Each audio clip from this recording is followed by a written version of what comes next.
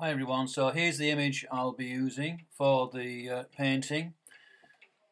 Uh, I'll be painting on a panel uh, 12 by 10 inches and I've divided the panel into 2 inch squares. Now you can see this um, here. Yeah, okay, so here's the grid um, with the drawing uh, mapped on. I'll put this on my blog John Geekie Art. So if you just Google John Geekie Art, you'll see this and can download it. And here I just painted the background black. Uh, very quickly put the headscarf and the um, rest of some details on. And that gives me this ready to start the video. So here we go. Get ready. One, two, three. Beep beep. Okay everybody. Um, hi. I'm going to uh, try and do a little video for a group I help out over at Hornsea in East Yorkshire. It's the um, oh by the way that was uh, that was George down there. Um, just had a walk.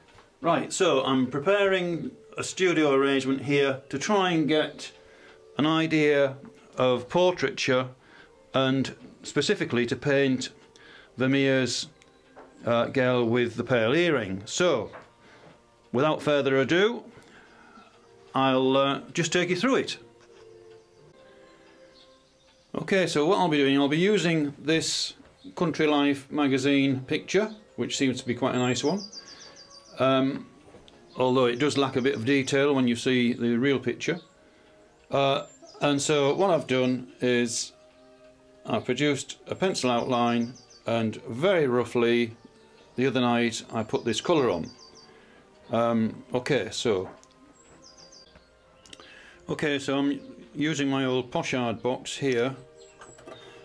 You see, old Pochade box paints are out here, but I'm using my old pochade box to mix the uh, paints on. So what I've got here. Okay, and here's the palette, simple palette: uh, cadmium light red, raw sienna, French ultramarine, and a large dollop of uh, titanium white. Later I added a small amount of black.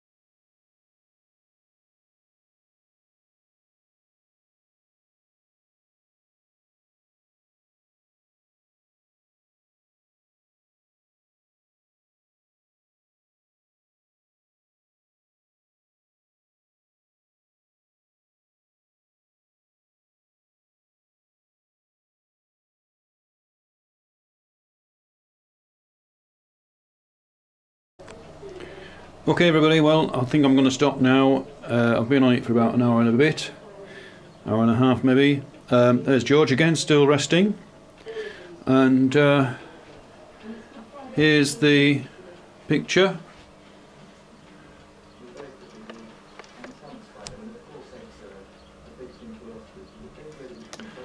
I could have done a lot more to it, but I'm going to leave it at that. Um, it's only meant to be a quick demonstration for my little group over at Hornsea. So I hope you've enjoyed it. Uh, just a quick look at the palette. It's a bit of a mess, but uh, there you go. Why not give it a try? Use the template I've put on at the start of the video. Um, if you want a link to that, I'll put a link on. In fact, I will put a link on to my blog, so you can download it and uh, use the grid. Right, happy painting. Okay, that's me uh, done. So hopefully I'll put some more work on later. But um, during this awful time of COVID, uh, we've all got to try and be as uh, creative and positive and keep our mental state as healthy as possible. So, okay, bye for now. Okay, everybody, don't forget, go to um, John Geekie Art, you'll see the grid, and you can download it, print it off, and have a go yourself on your own proportions. But uh, it works quite well on a 10 by 12. Happy painting, bye for now.